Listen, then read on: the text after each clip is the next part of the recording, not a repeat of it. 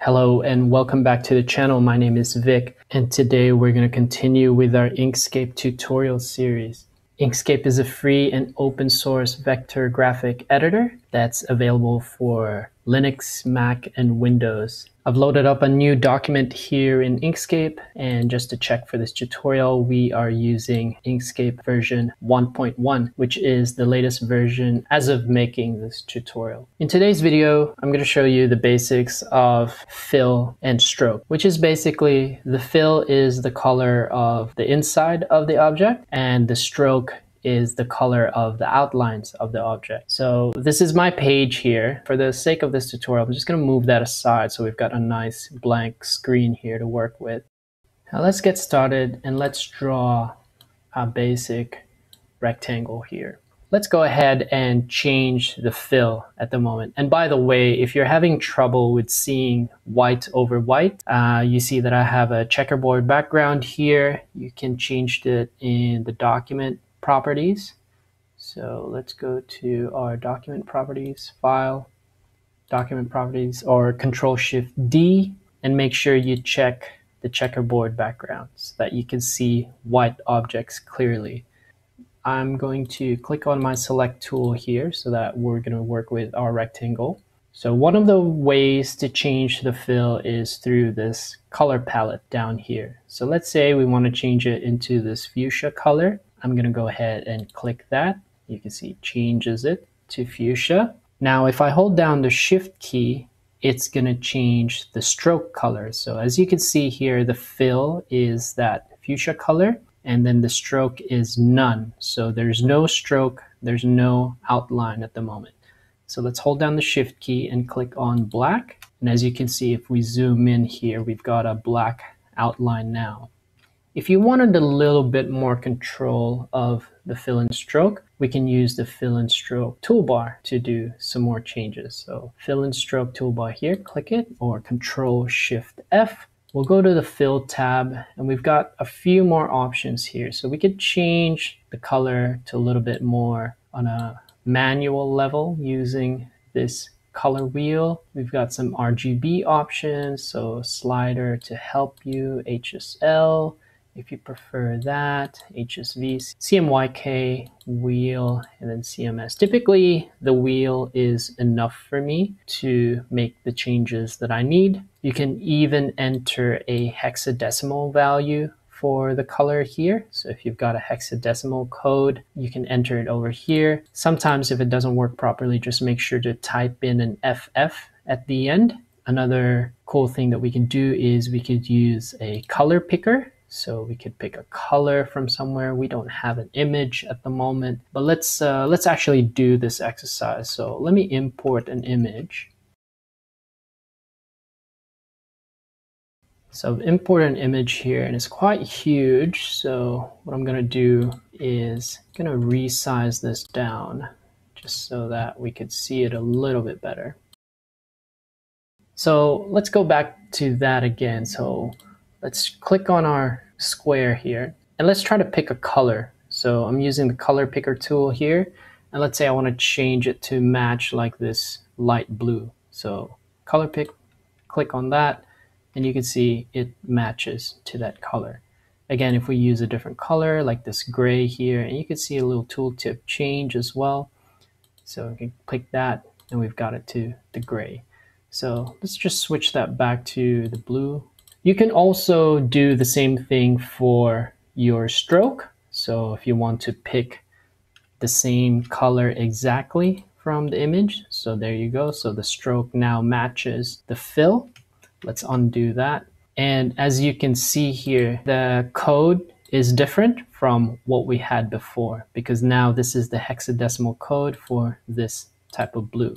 Another thing that you could change while we're here as well is the alpha, which is the transparency. So you could reduce the transparency so you could see a bit more of the background. Another place that you could change and play around with for transparency is the opacity over here. So it sort of achieves the same thing, but depending on how your objects are composed, the alpha and the opacity will have a slightly different effect. Uh, we've got some blur options here as well, which allows us to blur a little bit of that fill.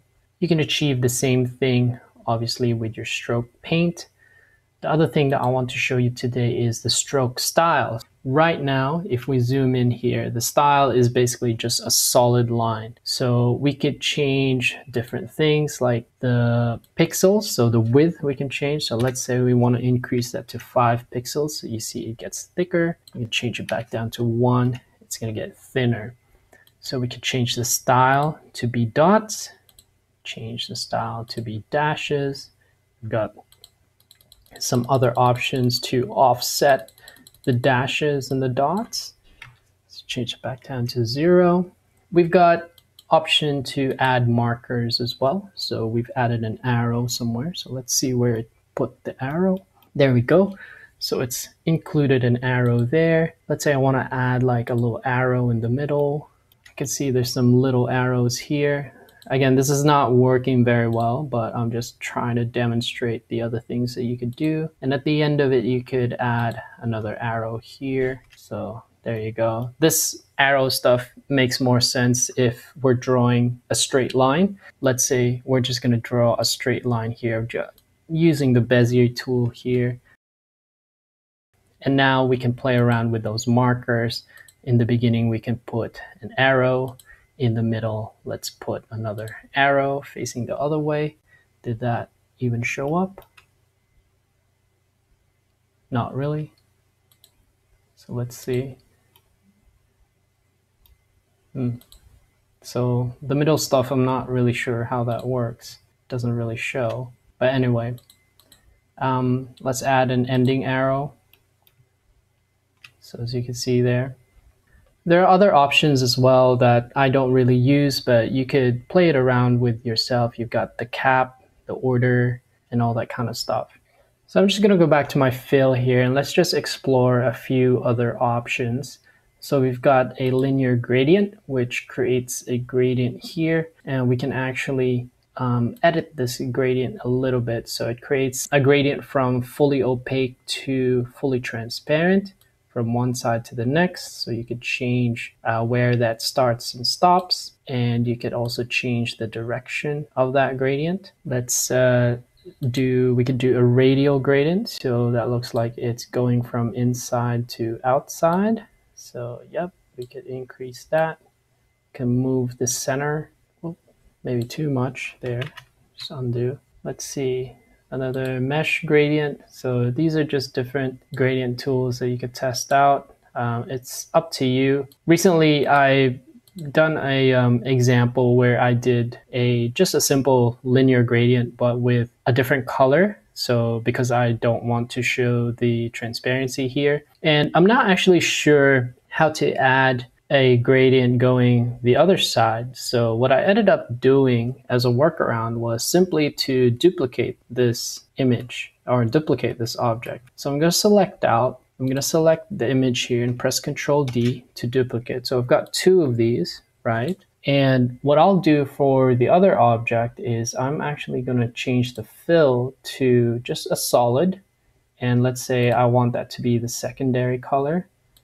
So let's put it at an orange. But now you can't see the other object because it's below it. So what we can do is reorder this. So I'm going to bring this object one step down or press page down on the keyboard and it's going to show the one with the transparency on top. So that's how I achieve that gradient effect that you see in one of my other videos. The basics of fill and stroke I've covered pretty much in this video and hopefully that will help you in your journey with Inkscape and hopefully you get to do more cool things with what you've learned today. I would appreciate it if you hit subscribe and give this video a like if it helped you. I hope to do more in the future. Until then, see you next time. Bye bye.